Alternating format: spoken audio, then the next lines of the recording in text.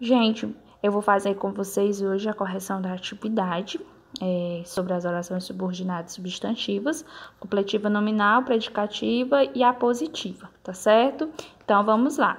É, questão 1 é para a gente classificar essas orações de acordo com completiva nominal, predicativo apositiva. A gente vai verificar se é uma dessas três classificações. Item A. O importante é que estejamos juntos e felizes. Aí nós temos aqui é, a oração principal, que é o importante é. Deixa eu voltar aqui. Pronto. O importante é. Aqui é a oração principal. Que estejamos juntos e felizes é a oração subordinada. E essa oração subordinada ela vai se classificar como? Como uma oração predicativa. Por quê? Lembra que eu expliquei para vocês que a oração predicativa ela ia, ia funcionar como um predicativo do sujeito da oração principal?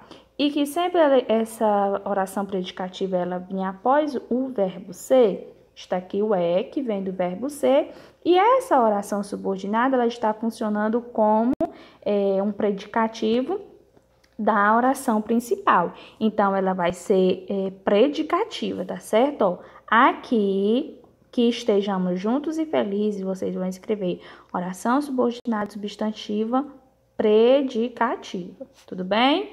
Item B. O, o rapaz pensava repetidamente uma coisa, que precisava de silêncio. Essa daqui é muito simples, né? Eu expliquei para vocês que quando tivesse a presença dos dois pontos, a gente já sabia que ela seria o quê? A positiva. Que precisava de silêncio será a oração subordinada substantiva a positiva. Ela está servindo como um aposto da oração principal. Item C. Todos temos medo de que a doença nos atinja. Aí eu tenho a oração principal, que é aqui, todos temos medo de que a doença nos atinja, é a oração subordinada, substantiva. E aí a gente vai descobrir agora a classificação dela. Notem que eu tenho a presença aqui de um substantivo abstrato, medo. E eu tenho também a presença de uma preposição, de. Quando eu tenho essa, a presença dessa preposição de junto com o substantivo abstrato, eu já sei que a minha oração ela será o quê? Completiva nominal. Então, será oração subordinada substantiva completiva nominal, certo? Item D. O desejo dos pais é que os filhos sejam felizes. Aí eu tenho novamente aqui, a oração principal é o desejo dos pais e a oração subordinada é: é que os filhos sejam felizes.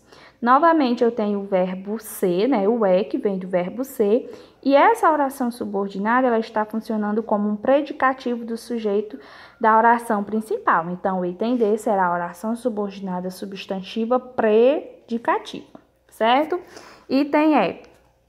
Os professores enfatizam a importância de aprender. É, agora, nós vamos é, aqui, ó, os professores enfatizam é, aqui, bem aqui, certo? Deixa eu voltar aqui mais um pouco. Pronto.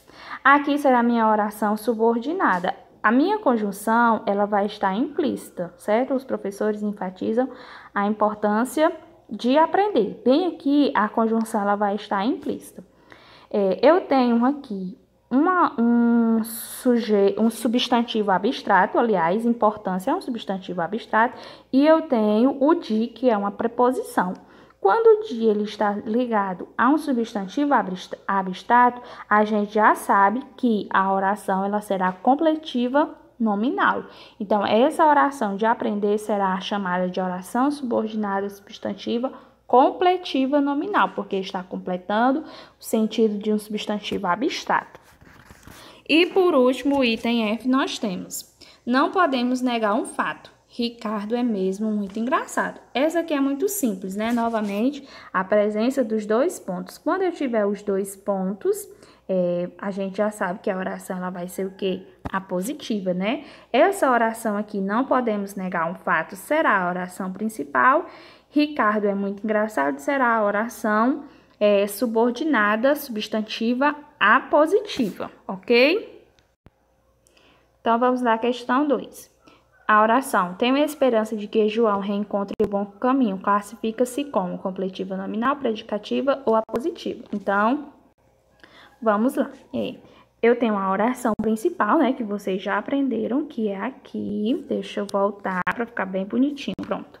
Tenho a esperança é a oração principal, porque aqui eu tenho a presença da conjunção que e antes dela eu tenho uma preposição. Então a gente corta bem aí nesse meio. Aqui é a oração principal.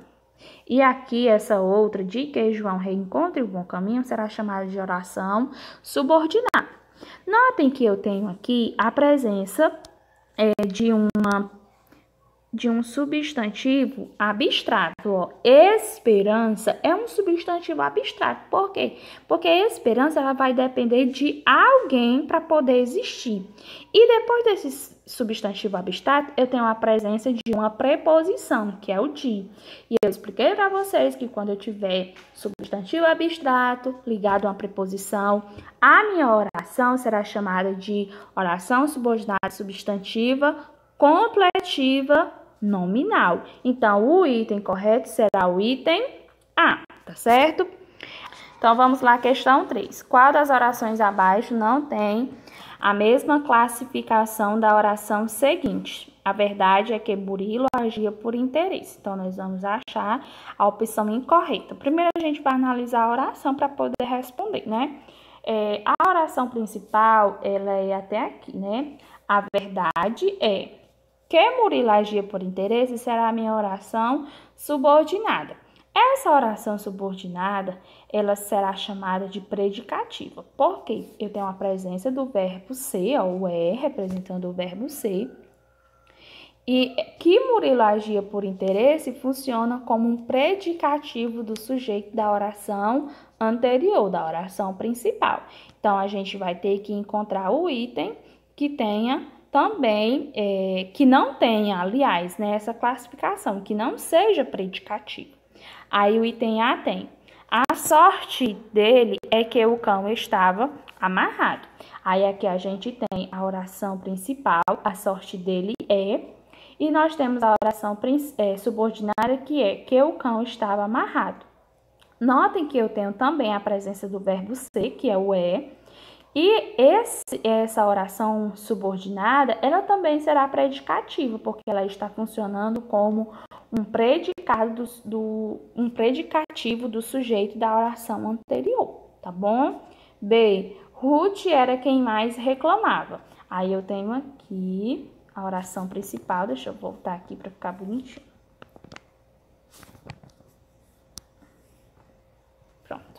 Ruth era quem mais reclamava. Ruth era é a oração principal. Eu tenho era, que também é o verbo ser, era vem do verbo ser.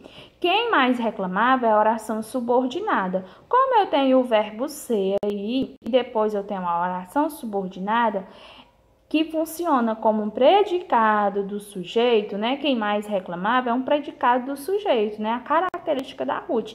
Então, também será uma oração é, predicativo. Então, o item A e o item B está correto. E nós temos, por último, o item C, né? Que só pode ser o item C, ó. Tenho certeza que fiz um bom negócio. Eu tenho aqui a oração principal, tenho certeza de que fiz um bom negócio será a oração subordinada. Certeza é uma, um substantivo abstrato. E ligado a esse substantivo abstrato, eu tenho uma preposição de. Então, quando eu tenho uma preposição ligada a um substantivo abstrato, eu tenho uma oração subordinada substantiva completiva nominal. Então, a resposta correta será o item C. Tudo bem?